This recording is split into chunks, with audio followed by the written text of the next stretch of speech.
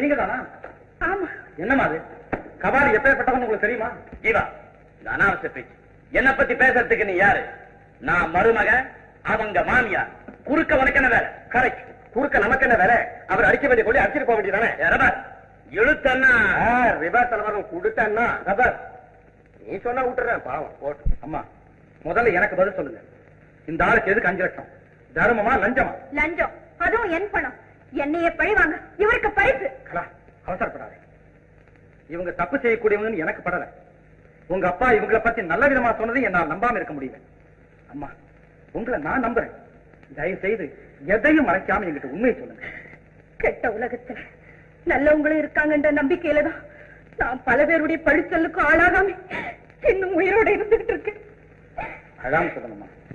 என் ரெண்டு பெண்களை காப்பாற்றவும் அவங்கள நல்லபடியா வாழ வைக்கவும் என்ன போல அவல உரைத்து வரக்கூடாத இந்த இடத்துக்கும் நான் துணிஞ்சு வந்தேன் கலாவையும் சரசாவையும் காப்பாத்தலாம் ஆமா.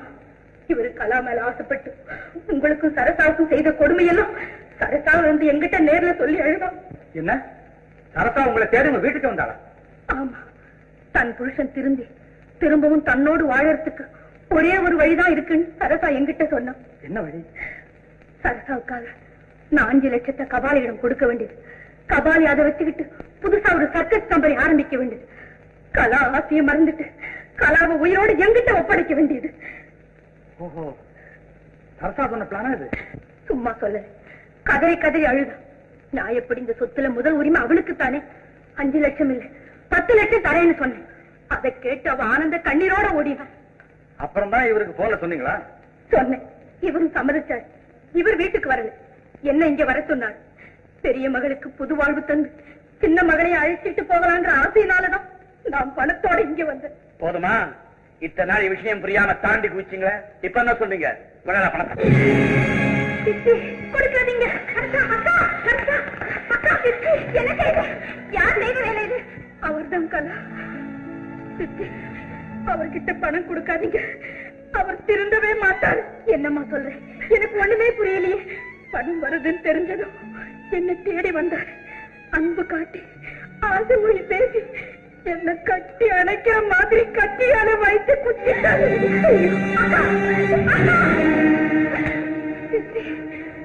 கலாவும் பணமும் அவருக்கு பரிசு ஓடிட்டாரு நம்பி அவங்களை குடலருக்கு நயம் வந்தேன் எங்க இப்போ ஓடிட்டான். பாத்தியா? இவா நரகம் இல்லைன்னு சொல்லுவியே. கடவுள்கிட்ட சொல்லி இவனுக்காக ஸ்பெஷலா ஒரு நரகத்தை உண்டு பண்ணுங்கிறேன். Thank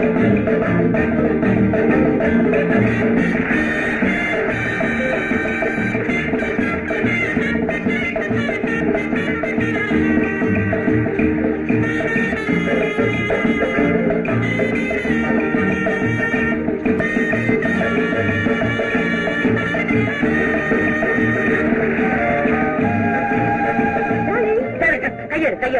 ஜீவாவும் கனாவும் காணும் சொல்லி வயிற்று அடுப்ப கட்டிக்கிட்டு இருக்கா டார்லிங்க கவலைப்படாத டாலி ஜீவா நல்ல ஆளு வந்துடும். சப்போஸ் வரலன்னா பண்ணிடு. வாய மூடு. வயிற்றுல கலப்பாத இவ்வளவு ரூபாய விட்டுறதா நல்ல கதை. ஆமா வாங்க வாங்க வாங்க வாங்க வாங்க வாங்க வாங்க வாங்க. ஆமா ஏமா ஜீவா வரல? ஜீவா நேரத்துக்கே வந்துட்டானே. அப்ப எங்க வழியில எங்க சந்தோஷ் ஆடுறாரா ஆமா நீங்க. தம்பி வலை கட்டாம ஆகாசத்துல ஆடுறான்னு. பேப்பர்ல பார்த்தேன் மனசு கேட்கல. ஐயோ நீங்க அதுக்கெல்லாம் கவலைப்படாதீங்க. நீங்க உட்காந்து வேடிக்கை பாருங்க. மேனேஜர் மேனேஜர் இங்க வா. ஃபர்ஸ்ட் கிளாஸ் கொண்டு உட்கார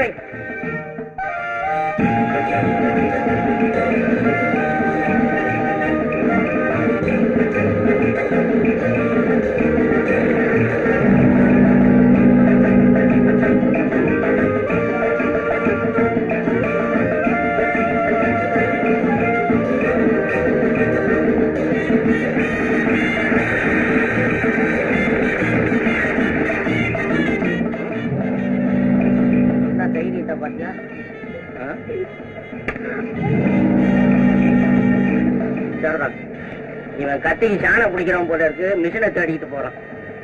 எங்கேயே பார்த்த மாதிரி இல்லை.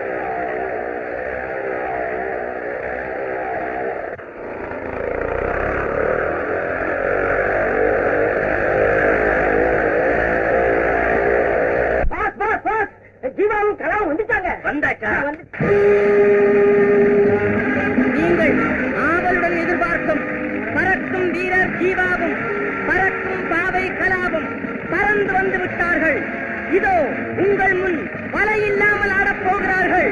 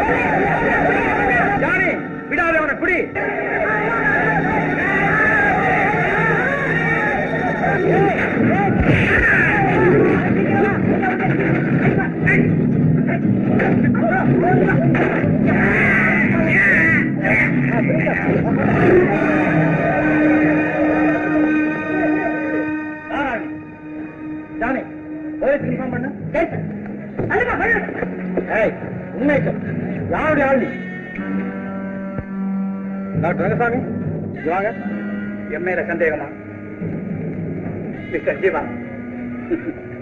நீங்க நினைக்கிறது தப்பு. பிளீஸ் நில்லுங்க. வக்கீல் சார். தாராளமா வர்றேன் சட்டம் படைச்சவனா. என்ன குற்றவாளியாக்க பாக்குறேன் பார்க்கலாம். நீ உயிரோடு இருக்கணும்னா உண்மை சொல்லணும்.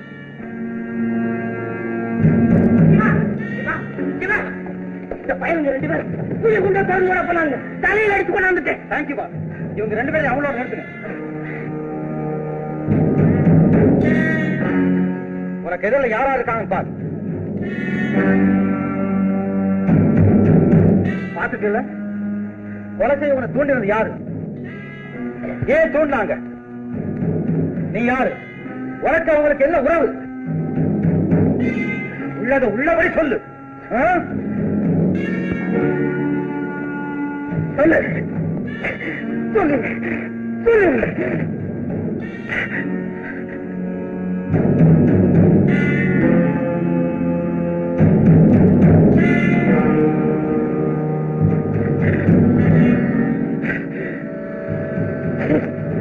சொல்ல மாட்டேன். சொல்லு சொல்லு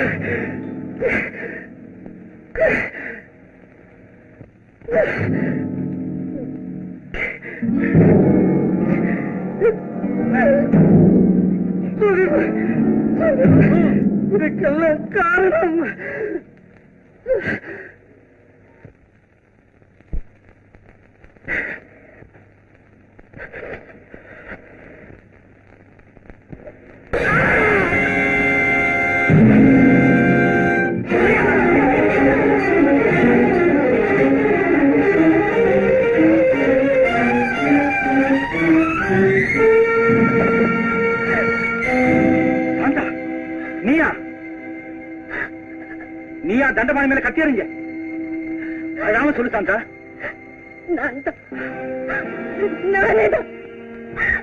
இந்த பாதகத்தை செஞ்ச. வேற நான் என்ன சொல்ல முடியும்? என்ன நானே தற்கொலை செய்துக்கத்தான் அந்த கத்திய கொண்டு வந்தேன். ஆனா தற்கொலையா? உனக்கு என்னமா அப்படிப்பட்ட துன்பம்? சொல்றேன் கேளு. எனக்கு உயிர் கொடுத்த தெய்வம் நீங்க. அந்த தெய்வத்துக்கு தான் என் உடலையும் உயிரையும் அர்ப்பணிச்சிருந்தேன். சாந்தா சத்தியமா சொல்றேன் வாழ்ந்தா உங்களுக்கு மனைவியா வாழணும். இல்ல சாகணும் இந்த எண்ணத்துல தான் நான் உங்க வீட்டுல இருந்தேன். ஐயோ இப்படியா உன் நிலைமை? எனக்கு ஒண்ணுமே புரியலையே. என் துரதிருஷ்டம். திடீர்னு வந்த கலாவை நீங்க காதலிக்க ஆரம்பிச்சீங்க எனக்கு ஆத்திரமும் அழுகிய வந்தது. அன்னைக்கே சாகர முடிவுக்கு வந்தேன். காதலுக்குள்ள வலுவோ வெறியோ தெரியல. என் இதயத்துல இன்னொரு எண்ணம் வந்து. சாவி எனக்கா? கலாமக்கா? என் எண்ணத்துக்கு ஊக்கம் கொடுக்க தண்டபாணி வந்து சேர்ந்தான். அவனும் விடாம முயற்சி செய்தான். ஆனா கடைசி வரைக்கும் விதி கலாவுக்கு சாதகமாகவே இருந்துச்சு. எதிர்பாராத விதமா தண்டபாணி என்ன காட்டி கொடுக்க முயற்சி செய்தான். அதுக்குள்ள அவனை கொண்டுட்டு தப்பி ஓடி போய் செத்திடலாம்னு கத்தி எறிஞ்சு ஆனா என் விதி எப்படியோ ஆயிடுச்சு. என்னை எல்லாரும் மன்னிச்சிருக்கு சாந்தா உன் குழந்தை உள்ளத்தையும் அழியாத அன்பையும் ஓயாத உழைப்பையும் தூய்மையான எண்ணத்தையும் என்னால மறக்கவே முடியும் நீ சொல்ற மாதிரி இயற்கை இப்படிப்பட்ட ஒரு சதி செய்யும்னு நான் எதிர்பார்க்கவே இல்லை சாந்தா எனக்கு என்ன சொல்றதுன்னே தெரியல. உன்னை என் சகோதரி மாதிரி நினைக்கிறேன். கடவுள் நமக்குள்ள இப்படி ஒரு கொடுமை செய்யும்னு நான் எதிர்பார்க்கவே இல்லை. யாரும் வருத்தப்படக்கூடாது. ஏதோ நடக்காத நடந்துருச்சு எவ்வளவு பெரிய முக்கியமான காரணமா இருந்தாலும் குற்றத்தை மறைக்க கூடாது. Inspector sir. என்ன அழைச்சிட்டு போங்க உங்களுக்கு மருமகளா இருக்கக்கூடிய பாக்கியம் எனக்கு இல்லம்மா. வர்றேம்மா.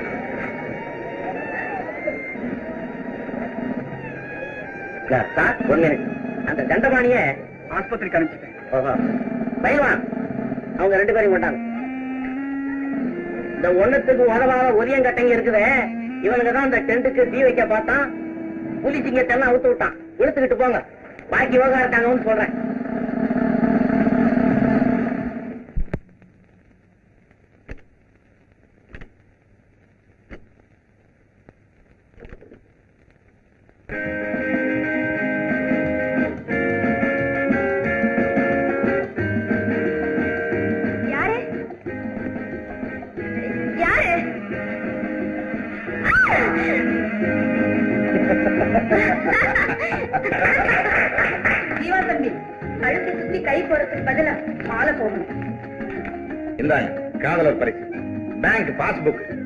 உங்க அப்பா கொடுத்த ரெண்டு லட்சம் ரூபாய உன் பேர்லயே பேங்க்ல போட்டேன்.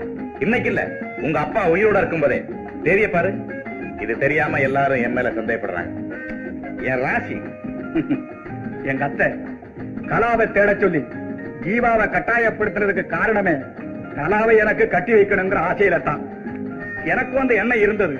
ஆனா கலா ஜீவாவை காதலிக்கிற விஷயம் தெரிஞ்சதும் நான் இந்த எண்ணத்தை அடியோட மாட்டிட்டேன் அது சரிப்பா. நம்ம வேதாச்சலம் செத்ததை பத்தி எல்லாருக்கும் ஒரு சந்தேகம் இருக்கு தெரியுமா? தெரியும். அந்த சந்தேகமும் என் மேலத்தான் வந்திருக்கும். அதனாலதான் மாமா செத்து போன அன்னைக்கே அவருடைய உடல்நிலையை பத்தி ஆஸ்பத்திரி டாக்டர் வச்சு டெஸ்ட் பண்ணி இயற்கையான மரணம் தாங்கிறதுக்கு ஒரு சர்டிபிகேட் வாங்கி வச்சிருக்கேன். பாருங்க. போகட்டும். பழசெல்லாம் மறந்து மன்னிச்சிடுங்க பாத்தீங்களா? ரெண்டு பேரும் ஒரே மாதிரி பேசுறாங்க. என் மகனுக்கு மருமக இருக்கணும் மனசு ஒத்து போச்சு. கல்யாணம் ஆகிறதுக்கு முன்னாலே மனசு ஒத்து போச்சுன்னு நீங்க எல்லாம் சிரிச்சு சந்தோஷப்படுறீங்க. இங்க கல்யாணம் ஆகி ஒத்துமைக்கு வராத கேஸ் ஒண்ணு நிக்கிது. உனக்கு கொஞ்சம் கூட மூளையே இல்ல. இதான் கொஞ்சம் கொஞ்சமா பிச்சு தின்னுட்டு எப்ப ஓடுதானே இருக்கு. பாஸ். என்ன மூலையே இல்ல? அது ஒரு மூலையில இருக்குது. இங்க எப்படி இருக்குது? நம்மளை பத்தி கவலையப்படாதீங்க. நானும் திட்டலாம் அவளும் திட்டலாம். அச்சா அச்சா அச்சா. பாட்டியும் புரியாது எங்களுக்கு கூட சண்டையும் வராது. அது என்னாச்சு? இது புது வச்சு புதுச்சி. புதுச்சி. புதுச்சி. இல்ல இல்ல இது பழச்சி. இது இதுதான் புதுச்சி. போடு போடு மாலை மாலை போட்டு மாலை போடு மாலை போடு கையை தட்டு.